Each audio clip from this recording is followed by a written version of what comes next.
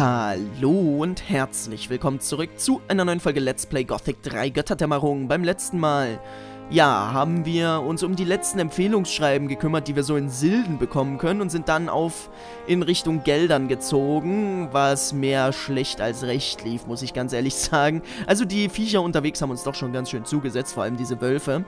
Und ja, wir sind hier in Geldern, weil wir ähm, ein Amulett besorgen sollen für Meryl von einem gewissen Dylan. Und gleichzeitig hoffe ich natürlich, dass es hier auch noch ein paar äh, Aufträge für Empfehlungsschreiben gibt, weil ich ja das eine in Silden vergeigt, also was heißt vergeigt habe. Ich habe mich halt äh, dagegen entschieden. Gucken du hast wir mal. sicher noch was zu erledigen. Ich würde mal sagen, wir gucken uns erstmal in der Folge jetzt Lass in Geldern um. Eine Waffe kann nicht scharf Warum will hier sein. keiner mit mir reden? Na gut, wir schauen mal. Hm. Ja, ich will die Leute jetzt nicht unbedingt alle gerade ausnehmen. Ich meine, ich könnte die natürlich jetzt alle beklauen auch. Die gucken scheinbar nicht so drauf. Hier war früher eine ganze Menge Gold drin auf dem Tisch, aber das scheint nicht mehr da zu sein. Ist die Frage, hier waren früher halt auch recht gute Truhen drin, ob sich das lohnt, hier reinzukommen. Ich weiß halt nicht, wie gut diese Krieger aufpassen. Früher konnte man sich ganz gut an den Orks vorbeistibitzen hier. Ähm, müssen wir mal schauen. Prinzipiell gab es damals recht viel in Geldern mitzunehmen. Also so klaumäßig. Das Problem ist, ich habe noch nicht so ganz rausgefunden, ob die hier genauso aggressiv reagieren, wenn was abhanden kommt, wie früher. Ach komm, das können wir auf jeden Fall mitnehmen. Das zählt, glaube ich, sowieso nicht. Hm. Wie früher. Oder ob man hier theoretisch nach Herzenslust einfach klauen darf. Weiß ich halt nicht. Ich belasse es erstmal dabei, dass ich nicht zu viel klaue, nur, also, ich meine, sowas wie eine Schatzkammer würde ich halt mal theoretisch ausnehmen. Oh, guck mal. Hier steht etwas über die Kunst des Schmiedens. Hm, schön, warum auch nicht. Ich könnte den Schmied halt ausnehmen. Ah, ich bin ein bisschen hin und her gerissen. Einerseits wollen wir ja eigentlich den Leuten helfen, ne? Andererseits, ich brauche das Geld halt super dringend. Ich lasse es erstmal noch. Ich meine, so ein Pokal bringt auch nicht so Du hast viel. doch sicher noch Wichtigeres zu tun, Der hat ein oder? Bastardschwert. Ich will auch ein Kümmere Bastardschwert. dich besser um deinen Sag Kram. mal, gibt's hier keinen, mit dem ich reden kann? Das kann doch nicht sein. Was ist denn mit dir? Also, wollte schon sagen, hast du auch was? Waldläuferkleidung. Du bist ein Waldläufer? Na, von mir aus. Kostet halt zum Glück mal nur 25.000. Was ist das denn? Gepanzerter Lederhelm. Interessant. Hauptsache, der verkauft auch die Krone. Warum ist denn alles so scheiße teuer hier? Einfach mal 25.000. Na klar, kann man sich sicher leisten. So, das hier ist die Taverne. Nicht so wirklich. Hauptsache, da pennt einer mitten am Tag. Na gut, sehen wir mal weiter. Ach, guck mal. Wer bist du? Ein Bürger Myrtanas, so wie du. Nur ein Bürger Myrtanas? Ich habe nichts Falsches gemacht, okay? Ganz ruhig. Ich brauche nur etwas Hilfe. Was ist denn der gleich so schreckhaft, mein Gott? Hä? ich wundere mich gerade, verkaufst du mehr Waffen jetzt, wo der Krieg begonnen hat? Woher weiß ich denn, dass er vorher Waffen verkauft hat? Naja gut, wir fragen einfach mal. Verkaufst du mehr Waffen jetzt, wo der Krieg begonnen hat? Was? Oh, nein. Das wäre ja schrecklich. Ich hasse Waffen. Und ich verkaufe nichts, was man zum Töten benutzen kann. So war mir Innos Hilfe. Hast du auch Orks als Kunden? Bei Innos nein. Ich habe nichts im Angebot, was Sie interessiert, also lassen Sie mir die Ruhe. Aber Sie gehen zu den anderen Händlern. Allerdings nehmen Sie sich einfach, was Sie brauchen und verschwinden dann wieder. Hm, okay, gut, der ist also doch kein Waffenhändler. Wie wir jetzt darauf kamen, ist mir ein bisschen schleierhaft, aber okay. Was weißt du über Gorn? Oh, es heißt, er wäre eine Bestie in Menschengestalt. Ein ganz fürchterlicher Kerl. Irgendwann wird er uns bestimmt alle töten. Oh, Innos sei mir gnädig. Also über Gorn hören wir insgesamt nicht so viel Gutes, muss man mal ganz ehrlich sagen, ne? Na gut, kommen wir jetzt zu dem Amulett. Hör zu, Händler. Du hast etwas, was ich brauche. Also her damit. Nicht schon wieder. Bei Innos. Hat Meryl dich geschickt? Ja, das hat er. Oh nein, oh nein. Nicht schon wieder. Bitte, kannst du mir helfen? Du bekommst auch eine Belohnung. Bitte, hilf mir. Bitte. Okay, dann lass mal hören. Hä? Wie? Äh, ja. Ich kann dir dieses Amulett geben. Es ist magisch. Du bekommst es, wenn du Meryl davon überzeugst, mich nicht mehr auszunehmen. Na, was sagst du? Ein magisches Amulett. Oh, bei Innos, was willst du denn noch? Ich will das Amulett und ein Empfehlungsschreiben. Was? Mehr nicht? Klar, das bekommst du. Aber bitte rede mit ihm. Bitte, bitte. Also darf ich das richtig verstehen?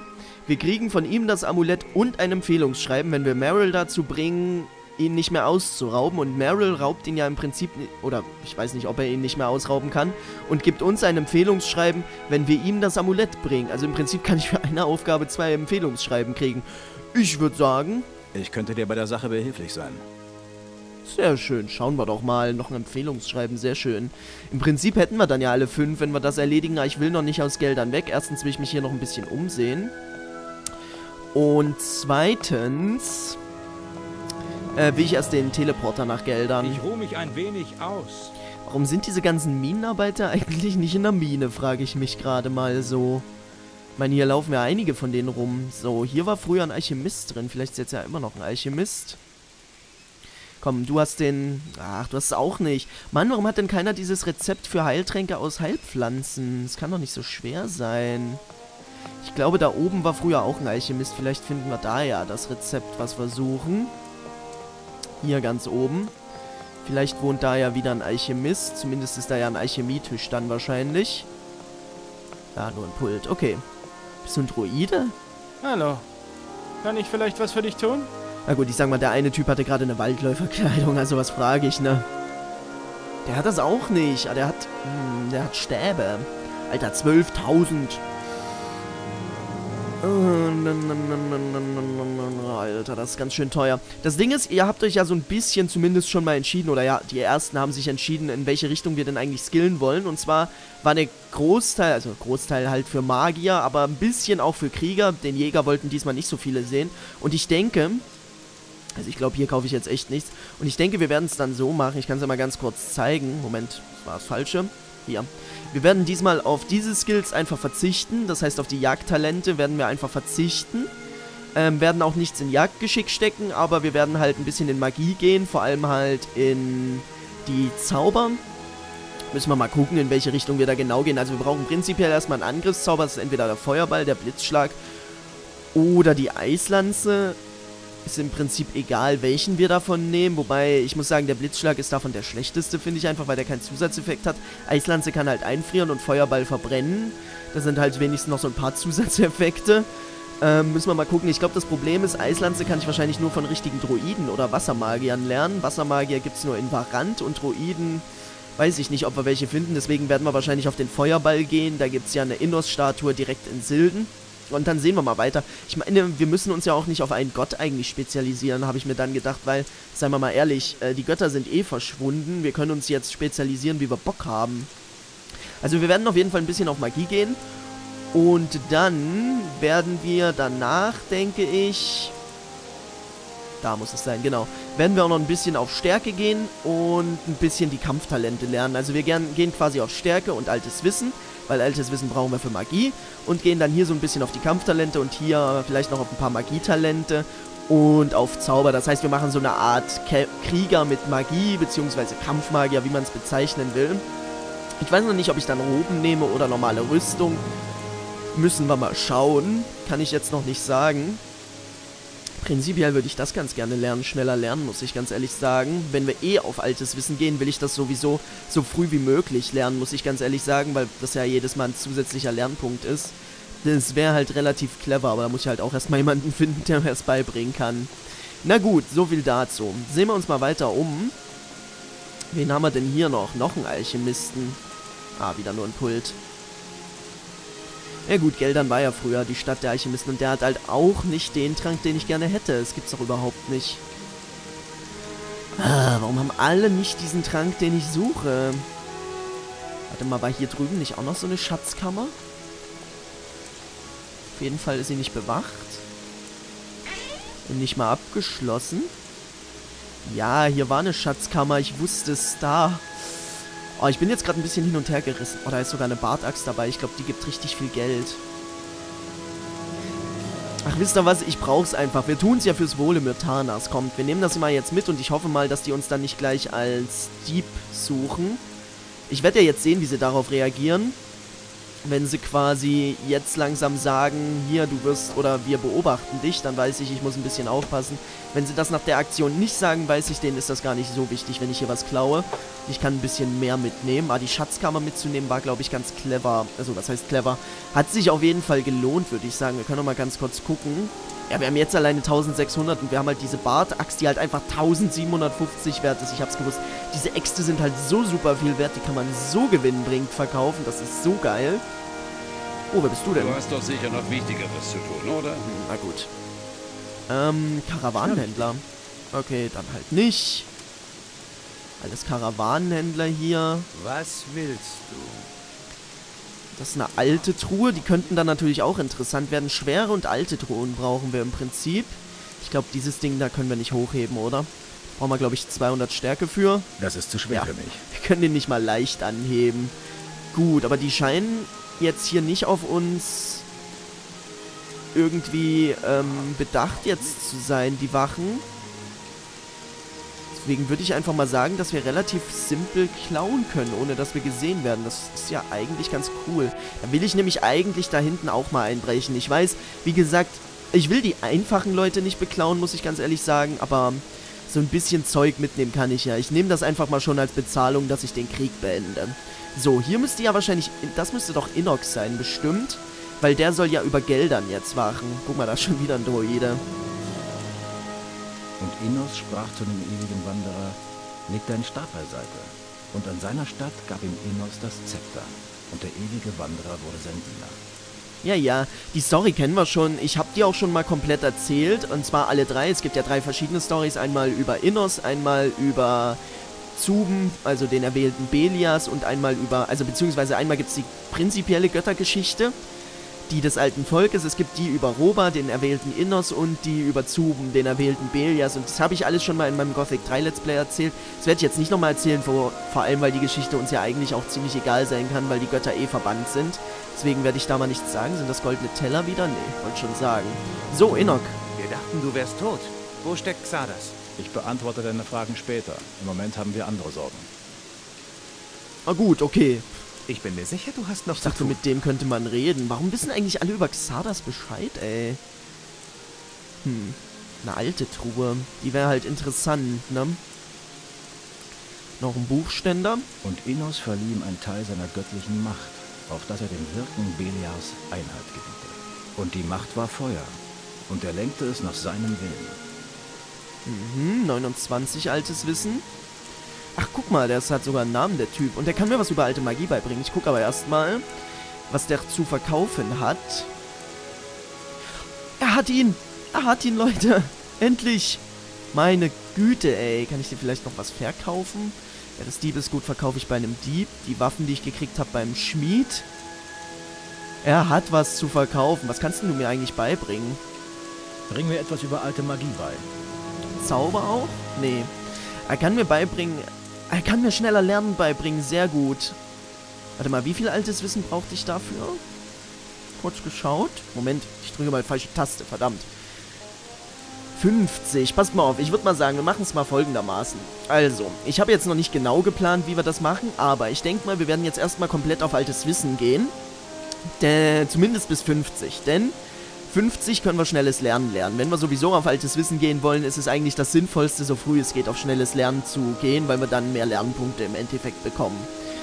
Ähm, mit 50 altem Wissen müssten wir theoretisch auch den Feuerball lernen können, genau. Das heißt, wir... Oh, und wir brauchen sogar schnelles Lernen für den Feuerball, sieh mal einer an.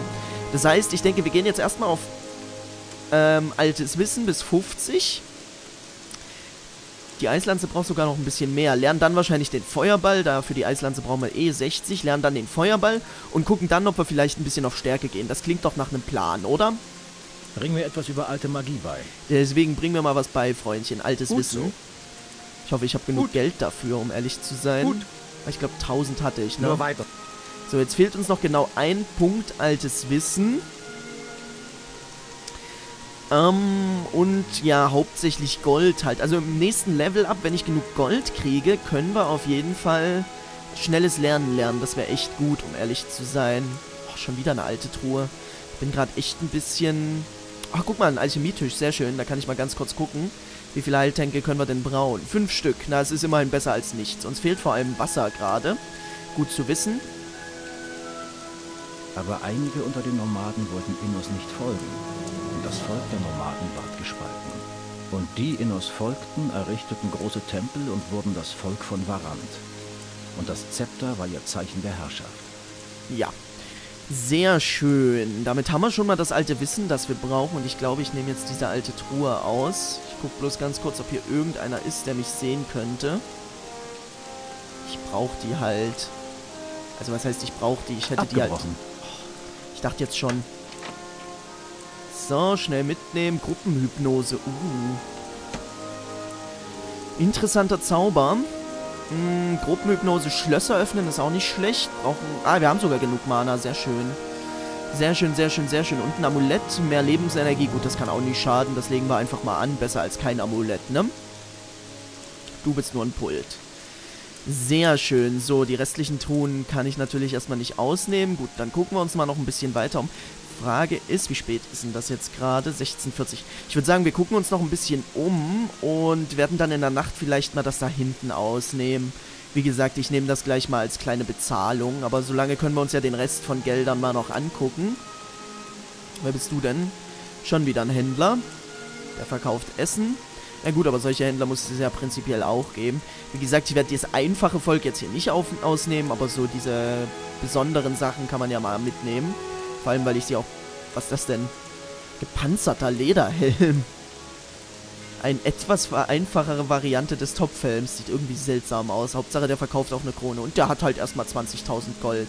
Ich hätte halt gerne einen Schmied-Waffenhändler, bei dem ich... Ah, guck mal, sehr schön. Wie aufs Wort, bei dem ich meine Waffen verkaufen kann. So, ich brauche nur ein Langschwert.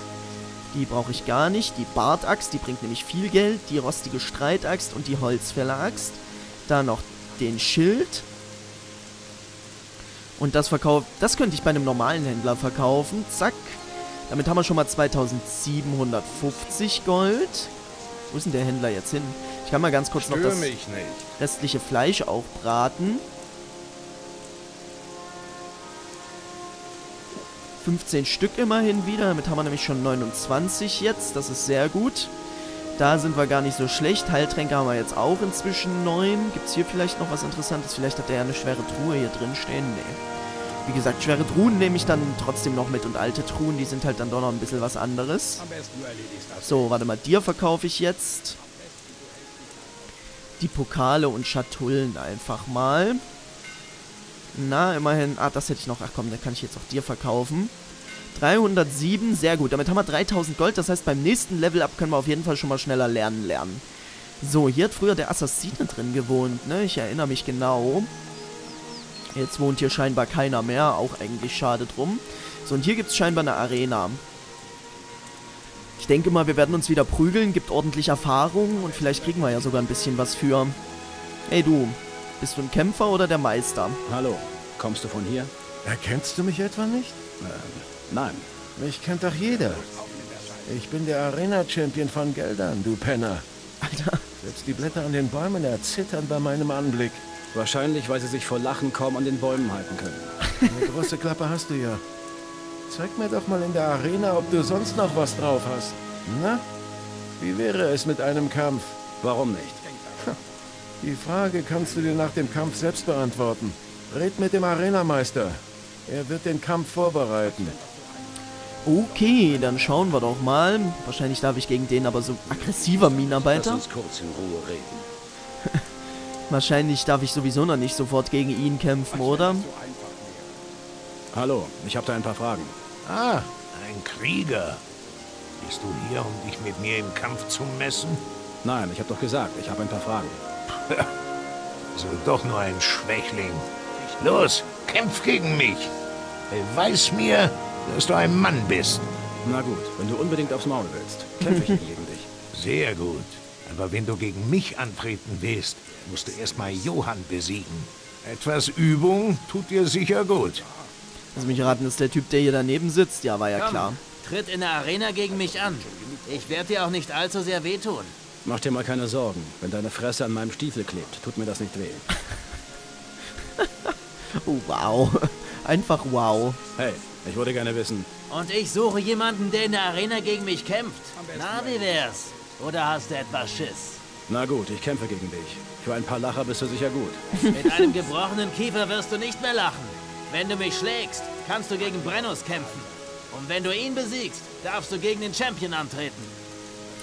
Okay, also prinzipiell haben wir auch das gleiche Aufgebot wie in Silden. Das heißt, einen relativ leicht gerüsteten mit einer kurzen Waffe, einen etwas schwerer gerüsteten mit einer langen Waffe und den starken, stark gerüsteten mit Schild und Kurzwaffe. Na gut, okay, du bist dann wahrscheinlich der Arenaleiter hier, ne? Ich möchte gegen einen deiner Leute kämpfen. Immer diese Kämpfe heutzutage. Also pass auf. Das sind die Regeln. Als erstes musst du gegen Johann antreten. Ja, ja. Wenn du ihn besiegst, kannst du gegen Brennus kämpfen. Hast du ihn auch geschlagen, darfst du gegen den Champion antreten. Also los, dann zeig mal, was du kannst. Ich find's blöd, dass man hier kein Gold setzen darf, muss ich sagen.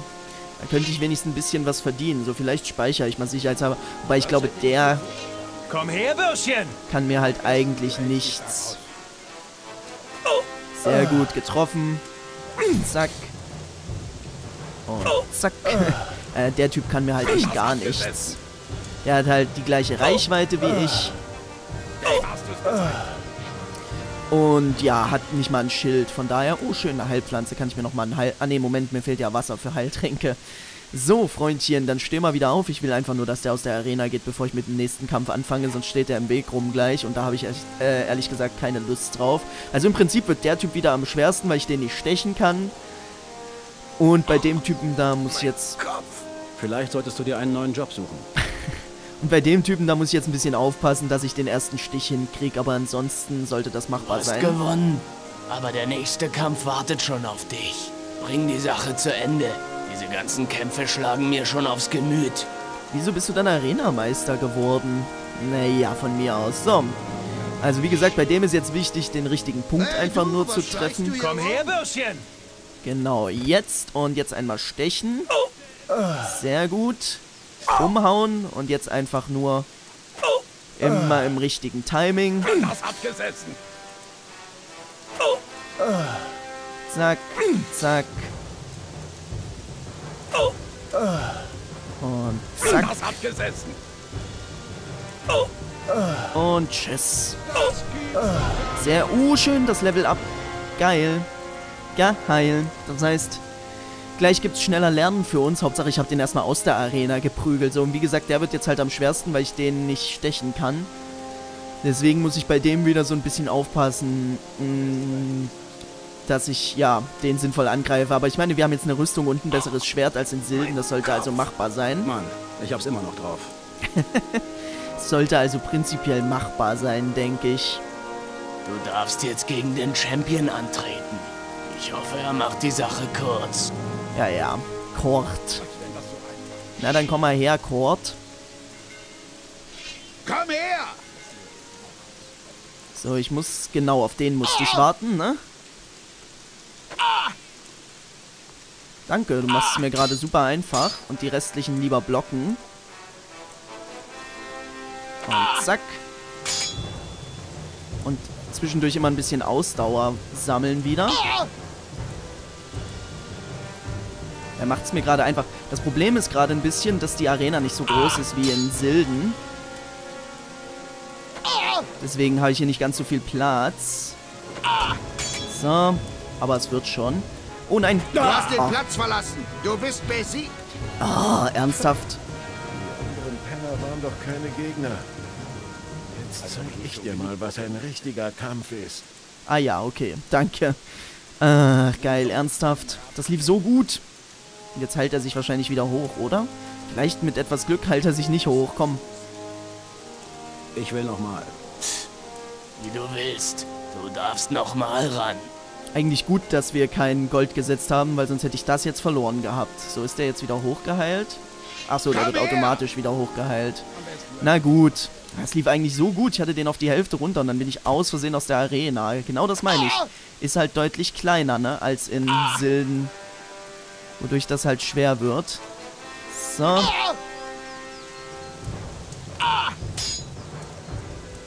Äh. Das war knapp. Ah, ich bin gut dabei, denke ich gerade. So. Ach shit, ich wollte nicht angreifen. Uh, das war knapp dachte schon, der haut mich wieder aus der Arena. Das wäre ja nervig gewesen. Komm, mach wieder deinen Stich. Ah, jetzt will ich echt sicherheitshalber nur noch auf den Stich warten. Sonst hätte ich vielleicht jetzt ein bisschen... Alter, dein fucking Ernst. Jetzt hat er mich umgehauen. Ah, der hat mir nichts abgenommen. Sehr schön. Normalerweise nehmen die einem das Schwert ab. Aber gut, das hat er diesmal nicht gemacht. Da bin ich glatt ein bisschen froh, dann können wir es nämlich nochmal versuchen. Das war jetzt irgendwie ein bisschen peinlich. Ich bin halt einmal in seinen verdammten... Ach komm, ich nehme Heiltrank hier. Ich bin halt einmal in seinen verdammten Stich reingerannt. Okay, komm, einmal probiere ich es noch. So, komm schon. Ich will nochmal. Wie du willst. Gut. Du darfst nochmal ran. Gut, dass wir kein Gold setzen, so. Ich glaube, das ist das letzte Mal, dass ich das probiere. Jetzt klappt das aber auch hoffentlich hier. Komm her! Ich meine, solange der mir mein Schwert nicht wegnimmt, ist alles in Ordnung. Mach mal deinen Stichangriff, bitte. Äh, komm schon. So, dann greife ich halt hier zwischen an. Da sollte eigentlich auch genug Zeit sein. Ach, Mist. Da macht er halt gerne so einen schnellen Angriff hinterher. Da muss man es halt ordentlich timen, dann kriegt man es auch hin. Ah, danke. Ich darf halt nur in den Stich nicht reinrennen. Das ist eigentlich der ganze Trick. Aber ich meine, ich denke, das war den meisten Leuten auch klar, dass man das nicht darf. Oh, das war schlecht. Kurz mal ein bisschen Ausdauer. Danke. Jetzt machst du es mir gerade einfach. Und zack. Kurz ein bisschen Ausdauer. An sich ist der, wie gesagt, kein Problem. Das erste Mal bin ich halt aus der Arena gerannt und jetzt habe ich mich einmal blöd treffen lassen. Ich meine, das Ding war auch, wenn er mich einmal trifft, ist das eigentlich kein Problem. Das Problem war, dass er mich dann halt dadurch mit einem starken Angriff treffen konnte. Und der macht dann halt schon ein bisschen Schaden, muss man ganz klar sagen. Ich meine, so ein normaler Angriff geht auch. Aber der starke macht dann schon ordentlich Damage, ne? Weil der halt schon ein bisschen stärker eigentlich ist als ich. Und ich eigentlich nur durch meine Gewitztheit hier eine Chance habe. Und zack. Hat er eigentlich einen Ork schlechter? Ich glaube ja, ne? Zack. So, kurz wieder ein bisschen Ausdauer. Und zack. Gleich Hammers. Und zack. Ein Treffer noch. Und tschüss. Na also, geht doch. Meine Güte. War nicht sonderlich gut von mir gekämpft, muss ich sagen. Also im zweiten Kampf. Aber ich meine, war halt ein kurzer Fehler und der reicht halt leider schon auf unserem Level. Aber im Endeffekt haben wir es geschafft. Und wir können theoretisch schneller lernen lernen. Und ich glaube, das mache ich dann auch direkt, bevor ich zufällig noch ein Level aufsteige. Wir sprechen uns noch. Ach, verschwinde und lass dich hier nicht mehr blicken. Ja, ähm, ich hab's geschafft übrigens. Und jetzt meine Belohnung, bitte. Weiter so. Vier Heiltränke, na immerhin. Bin ich eigentlich damals zu dem Typen nochmal hingegangen und habe mir die Belohnung abgeholt? Ich bin mir gerade gar nicht sicher in Silden, ist aber auch nicht so wichtig. Ich würde sagen, wir werden jetzt ganz, ganz, ganz flott noch die schneller lernen lernen. Wie gesagt, einfach damit ich nicht aus Versehen noch ein Level aufsteige. Weil, ich meine, es wäre halt Verschwendung von Lernpunkten einfach. So, deswegen machen wir das jetzt ganz flott. Und zwar äh, schneller lernen. Ich will schneller lernen. Weiter so. Ach gut, der erklärt mir gar nichts dazu. Mhm. Ich vermute mal ganz ehrlich, dass Feuerball wahrscheinlich 5 kostet. Also 5 Lernpunkte. Gucken wir mal, was wir mit den restlichen Lernpunkten jetzt machen. Aufheben geht natürlich auch immer noch. Ich meine, ich habe ja auch immer noch theoretisch das Langschwert, das ich vielleicht mal nehmen will. Da brauche ich 150. Und dann wäre vielleicht auch ganz cool, wenn ich irgendwann mal äh, Schildparade lernen könnte. Die kann ich theoretisch auch schon lernen. Ne, da brauche ich Schwert. Ach doch, das habe ich schon. Können wir mal gucken, ob wir das vielleicht auch dann demnächst mal lernen. Ich glaube bloß, das Problem ist jetzt immer wieder halt arm wie eine Kirchenmaus. Obwohl, ich habe wieder ein bisschen was abgestaubt in der Arena. Vielleicht kann ich das gleich mal zu Kohle machen. Also zu Gold meine ich natürlich. Gleich mal zu Gold machen. Überlege, ich könnte mir halt auch ein Bastardschwert, ne? Aber ich weiß gar nicht, ob ich da schon genug habe. So, Zweihänder, Orkschlechter, Schwert und das Holzschild. haben wir immerhin wieder 590 Gold. Wir krebsen echt am untersten Limit. Aber okay, ich würde sagen, das soll es erstmal gewesen sein. Und in der nächsten Folge werden wir uns den Rest von Geldern ansehen und werden mal schauen, ja, dass wir vielleicht noch das ein oder andere Empfehlungsschreiben abstauben. Aber das erst in der nächsten Folge von Let's Play Gothic 3 Götterdämmerung. Bis dahin, ciao.